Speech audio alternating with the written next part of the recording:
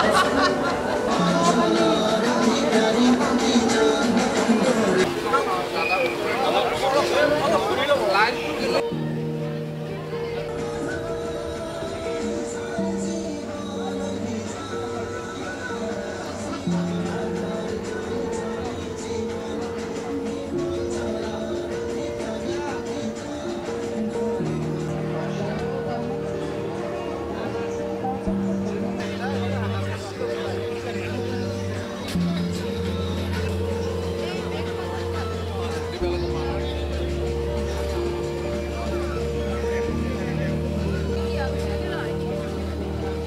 আজি ৰাস মহোৎসৱৰ পঞ্চম দিন।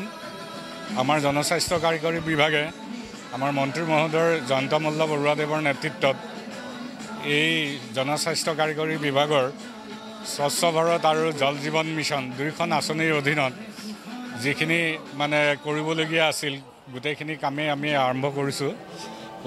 এতিয়া আমাৰ ধৰক প্ৰায় খোৱা পানীৰ ব্যৱস্থাটো আমি কৰিছোঁ ৰাস মহোৎসৱৰ যি মানে হয়।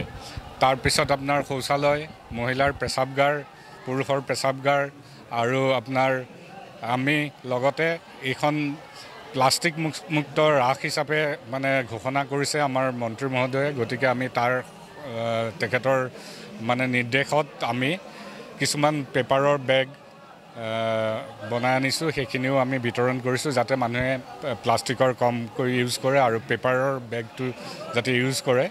লগতে আমি ডাষ্টবিনবিলাকো আমি কিছুমান যিবিলাক বাঁহৰ মানে কৰিছোঁ প্লাষ্টিকৰ ইউজ আমি যথেষ্ট কমকৈ কৰিছোঁ। খোৱা পানীৰ ব্যৱস্থাও প্ৰত্যেকটো স্থলতে আমি খোৱা পানীৰ ব্যৱস্থা কৰিছোঁ মানুহে ৰানিং ৱাটাৰো পাইছে বা আমাৰ টয়লেট বা আমাৰ প্ৰেচাবগাৰতো তেনেকৈ পানীৰ ব্যৱস্থা কৰা হৈছে। গতিকে এইখিনি আমাৰ কাম চলিয়ে আছে। এইকেইদিন আমি কণ্টিনিউৱাছলি কামখিনি কৰি গৈ আছোঁ আৰু অনাগত দিনখিনিতো আমি মন্ত্ৰী মহোদয়ৰ তেখেতৰ ডাইৰেকশ্যনত যিখিনি কাম কৰিব লাগে তেনেকৈ আমি কৰি যাম বুলি আশা ৰাখিছোঁ।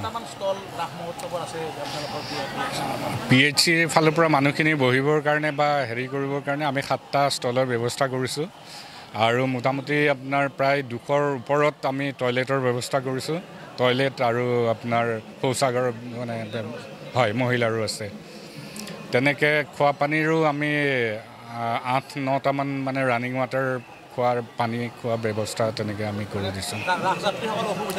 একো অসুবিধাৰ সন্মুখীন হয় তেখেতসকলে পানীখিনি মানে খাবও পাৰিছে আৰু মানে পেচাবগাৰ বা শৌচালয়তো তেনেকৈ পানী ইউজ কৰিব পাৰিছে।